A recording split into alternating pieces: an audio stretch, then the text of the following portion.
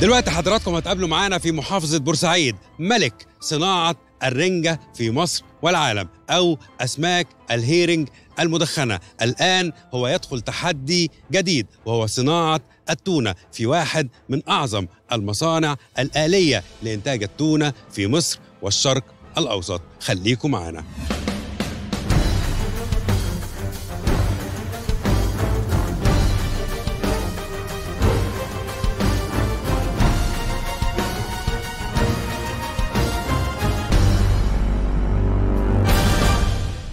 مفيش حد في مصر كلها ما يعرفش الحاج السيد حسين ملك ملوك تصنيع الرنجة في مصر والعالم وصاحب أشهر مصانع السمك المدخن برضه في مصر والعالم 15 فرن جبار من هولندا ب 99 برنامج للتشغيل وتدخين الأسماك حسب مواصفات كل دولة وبتنتج من 75 ل 100 طن يوميا رنجة بعيارات الذهب. دي رنجة أبو السيد يا جدعان مش بهزر بتتاقل بالذهب. النهارده بقى إحنا بنزوره عشان قبل التحدي. أيوه تحدي وصعب كمان. إنه يأكلنا لأول مرة في مصر تونة بجد. مش سمك السكيب جاك.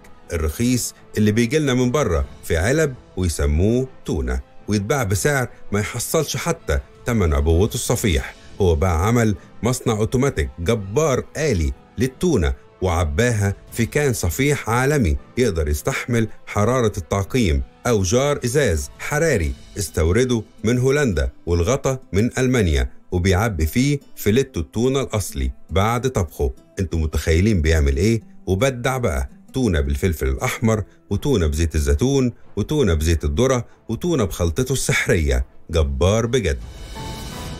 حبيبنا أبو السيد رجل صناعة الأسماك المدخنة الأول واللي عنده فوق المية منتج غذائي من الأسماك. وخصوصا السلمون والهيرنج والماكريل والجمبري والتعابين والكافيار بأنواعه أو البطارخ. مفيش سمكة تونة تعدي في البحر الأحمر ولا المتوسط إلا ورقد لها هو ورجالته الصيادين العتاولة. يصطادوا ويوردوا لمصنعه بورسعيد ستار. لا ومش أي تونة دي ذات الزعانف الزرقاء. يعني اللي طعمها فظيع فعلا. ويا سلام لما تعدي على خطوط إنتاجه وتتنحت فصوصها الضخمة البيضة والحمرة وتتكبس كقطع ولا مفتتة وتتملح وتغرق في الزيت. الله بجد والله أنا جعت.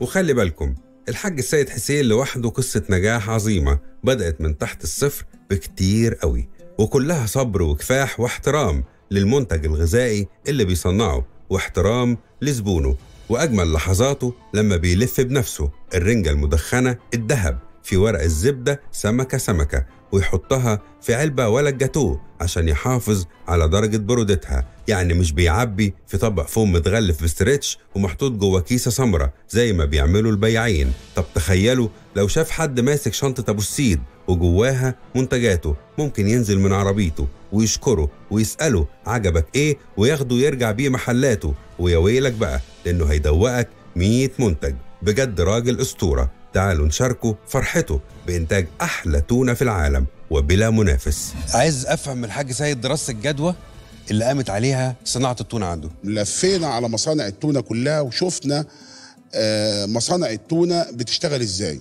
تمام. وأكبر مثال إحنا طبقناه هنا اللي هو البرنامج التونسي. توانسة عندهم 12 مصنع تونة.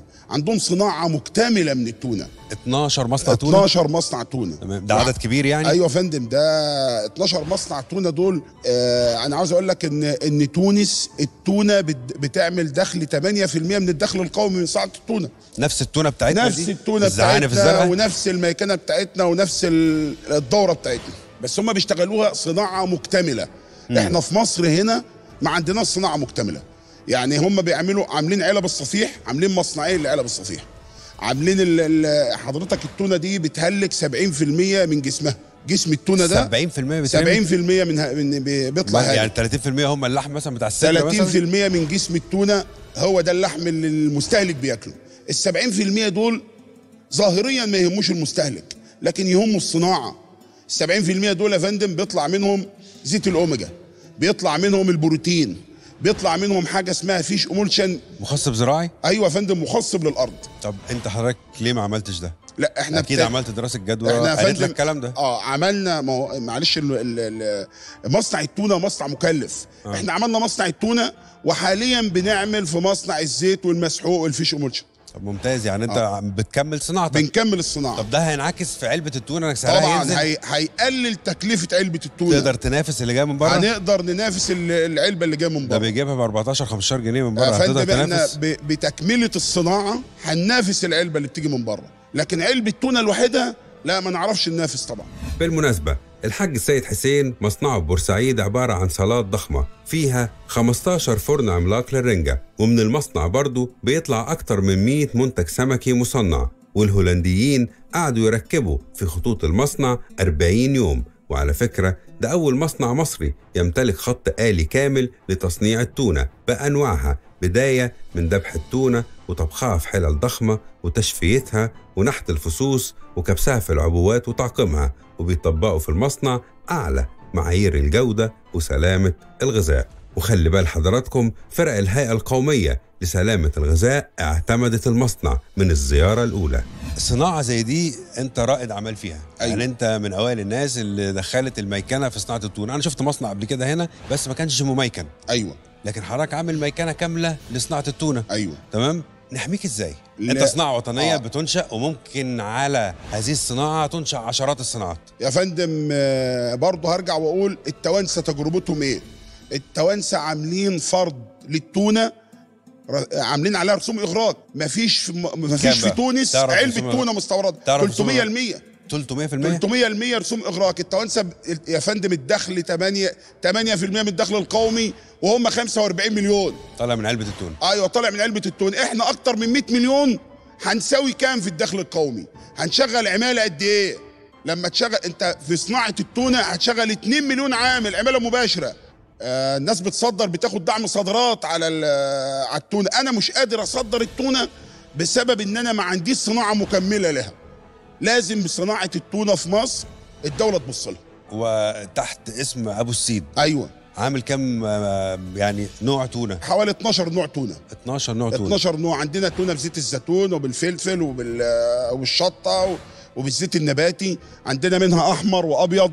عندنا منها قطع وعندنا منها مفتت وعندنا فليتو اللي هو في الجار.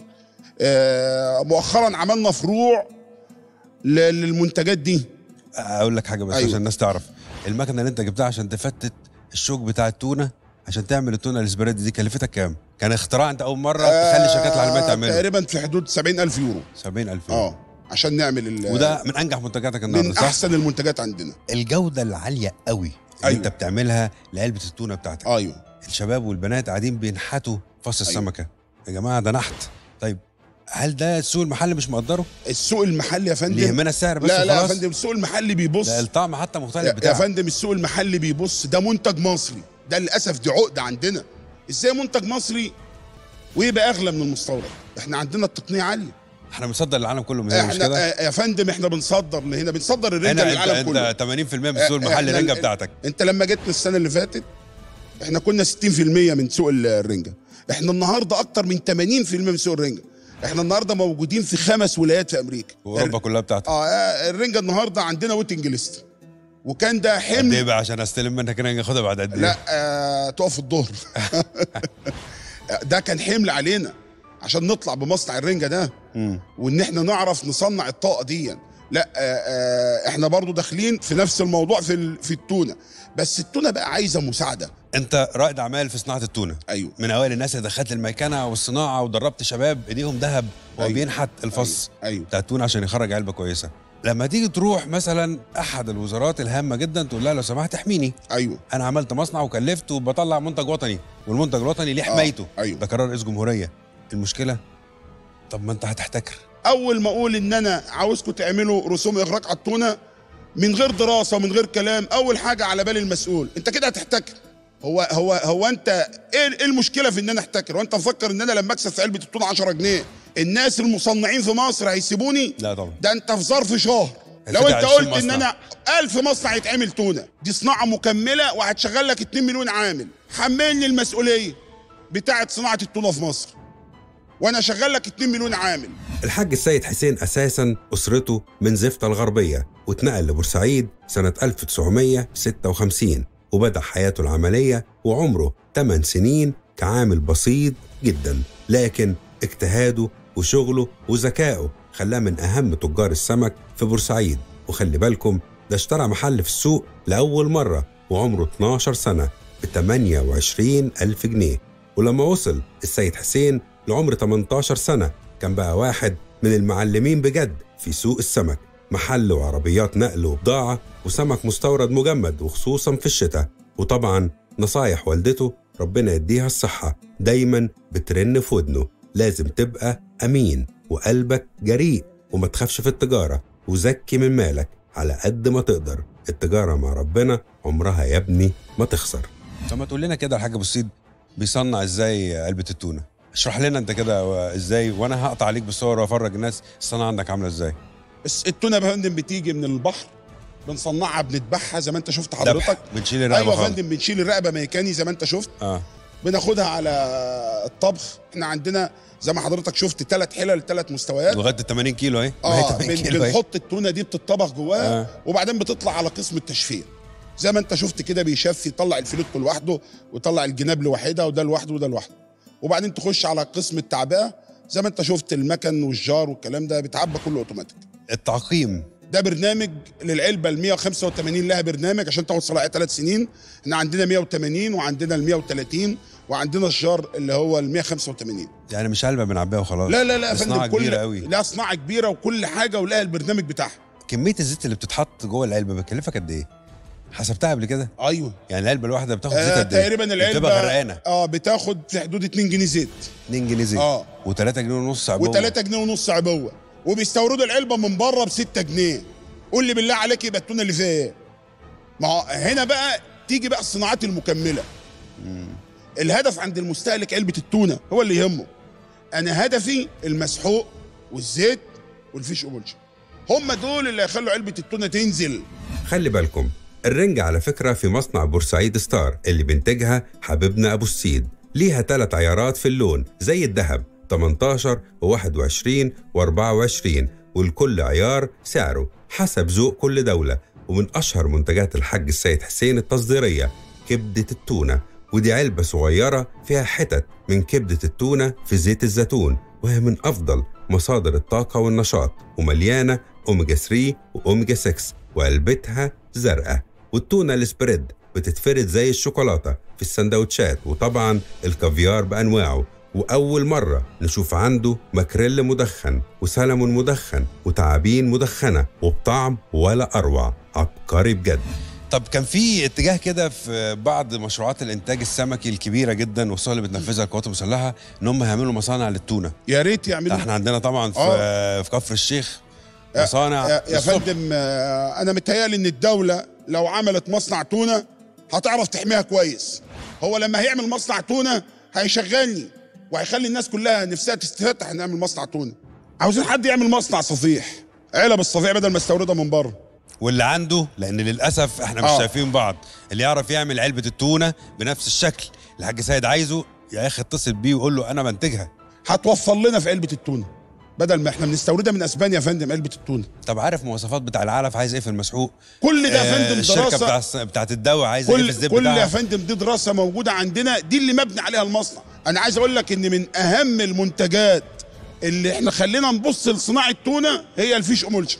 حضرتك تعلم إن إحنا عندنا الزراعة. آه الزراعة. إحنا آه، الطن الف- الفدان كان بيعمل 2 طن ونص. فدان العنب زي ما أنت حكيت. النهارده لما بنرمي آه، الفيش إمولشن الإنتاج تكاثر. ثلاث أربع أضعاف. مصنع مخلفات التونة واللي هيصنع 70% من جسم سمكة التونة هينتج منه الحاج السيد حسين دهب بجد زيت أوميجا 3 ومسحوق بروتين عالي الجودة يعدي ال 62% ومغذيات زراعية بتضاعف الإنتاج الزراعي من أربع لخمس مرات وده أمله لخفض سعر تونة أبو السيد العالمية عشان يقدر ينافس ويكتسح أسواق العالم. وخلي بالكم التصدير مش سهل للأسماك وعنوانه الجودة في المنتج والتغليف المبهر والسعر المنافس.